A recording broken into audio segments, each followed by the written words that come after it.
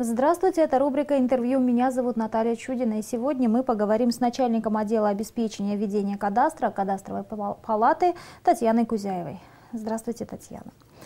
Правительством России продолжается реализация мероприятий, предусмотренных дорожной картой Росреестра и направленных на повышение качества и упрощение процедур регистрации прав и кадастрового учета. А расскажите вот о последних этих изменениях.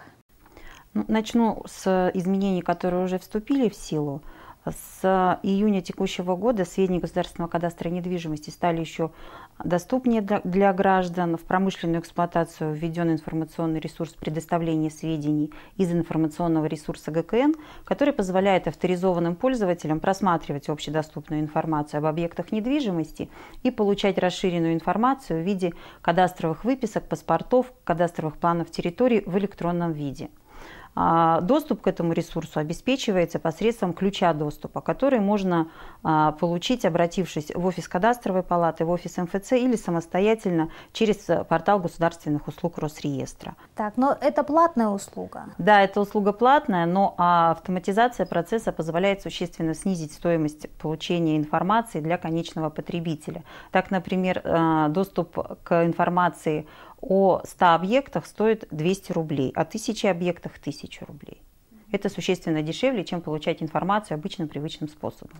Но это в итоге все равно ляжет на плечи потребителя, да, повлечет стоимость услуг вот этих вот предприятий. А, кадастровая а, выписка в электронном виде, которая запрашивается без использования информационного ресурса, стоит 150 рублей на один объект.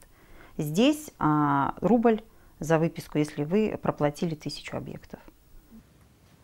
С 12 октября пришли новые изменения. Что еще у нас поменялось? Да, с 12 октября вступили изменения, которые внесены в закон о государственном кадастре недвижимости, в закон о банках и банковской деятельности, об организации страхового дела в Российской Федерации и в основы законодательства о нотариате. С указанной даты при обращении гражданина к нотариусу в банк, страховую компанию эти организации должны самостоятельно запросить сведения ГКН, если они им нужны для предоставления той услуги, за которой обратился гражданин.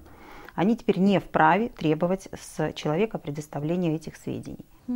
Но в конечном счете не приведет ли это к увеличению срока получения услуг нотариуса, вот банка и той же страховой организации?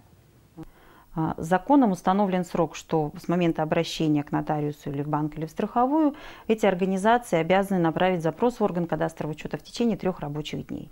Орган кадастрового учета тоже в соответствии с законом обрабатывает запросы в течение пяти рабочих дней. Фактически этот срок а, меньше, составляет он 2-3 рабочих дня. Так что если даже как бы вот в рамках законодательства это плюс 8 дней. А, если запросы отправляются, а нотариусы обязаны отправлять будут э, ну, банки и страховые компании, все это в электронном виде, то а, здесь нужно иметь в виду, что электронный запрос обрабатывается автоматически и ответ они могут получить уже через несколько минут. А может ли гражданин предоставить документы, которые у него сейчас имеются на руках, и если он хочет, чтобы это ну, совсем быстро произошло? Законодательством это не запрещено. Если у человека уже есть на руках документы, которые нужны организациям, он может их принести. Но здесь нужно иметь а, в виду то обстоятельство, что сведения ГКН актуальны на дату их предоставления. И если с момента получения выписки из Государственного кадастра недвижимости прошло какое-то время, то какая-то информация, например, сведения о кадастровой стоимости, могли уже измениться. То в этом случае целесообразно все-таки запросить свежую информацию из Государственного кадастра. В СМИ прошла информация о том, что кадастровая палата сейчас выдает и сведения из единого госреестра прав на недвижимость. Расскажите вот об этом подробнее, как, почему теперь вы этим занимаетесь? Ну, действительно, с 1 сентября кадастровые палаты по всей стране а, приступили предоставлению сведений из Единого государственного реестра прав на недвижимое имущество. Это в соответствии с соответствующим приказом Росреестра. Но пока вот в настоящее время кадастровая палата обрабатывает только запросы, которые проплачены на счет филиала. То есть запросы, которые предоставляются за плату, и если плата поступила на счет э, кадастровой палаты. С 1 января 2016 года кадастровая палата будет обрабатывать уже все запросы. А, и поданные в МФЦ. Сейчас это делают специалисты управления Росреестра. И запросы, которые на безвозмездной основе а, обрабатываются, они тоже будут с 1 января 2016 года обрабатываться уже специалистами кадастровой палаты. Но это увеличивается у вас объем работы? Ну, объем работы увеличивается. Но пока справляемся. Ну, а ваши специалисты, они готовы? Они обучены. А, это как бы мероприятие долгосрочное. Наверное, с января уже начались подготовительные работы, все специалисты прошли обучение, технически это тоже необходимо было обеспечить доступ к ресурсу, а, который хранится а, в управлениях Росреестра. То есть э, большая подготовительная работа была проведена. Ну и последний вопрос. Какие еще нас ждут изменения в сфере кадастрового учета и регистрации прав? Ну, самое ближайшее изменение вступит в силу с 1 декабря. А, с этой даты орган кадастрового учета, то есть кадастровая палата, будет направлять в органы местного самоуправления сведения о ранее учтенных объектах недвижимости, которые а, простояли на кадастровом учете более пяти лет и на них не были зарегистрированы права. Это касается ранее учтенных объектов недвижимости, которые а, были зарегистрированы и учтены до вступления в силу закона о кадастре до 1 марта 2008 года в отношении вот этих объектов будет проводиться данная процедура. Органы местного самоуправления, получив эту информацию, будут а, обращаться в суд о признании, в суды о признании права собственности за муниципалитетами на бесхозяйную вещь. То есть гражданам, которых, а, которые, объекты которых попадают вот под эту категорию, необходимо обратиться а, с соответствующими документами за регистрацией права. То есть они могут, по сути, лишиться своих да, э, владений. Да, людям иногда кажется, что они до конца прошли всю процедуру, все вроде где там зарегистрировано в БТИ или давным-давно, а, но законодательство изменилось, и ранее возникшее право нужно как бы подтвердить. Еще какие-то изменения будут? Да, еще будут изменения, которые, ну это такие, скажем, далекие, более далекие изменения.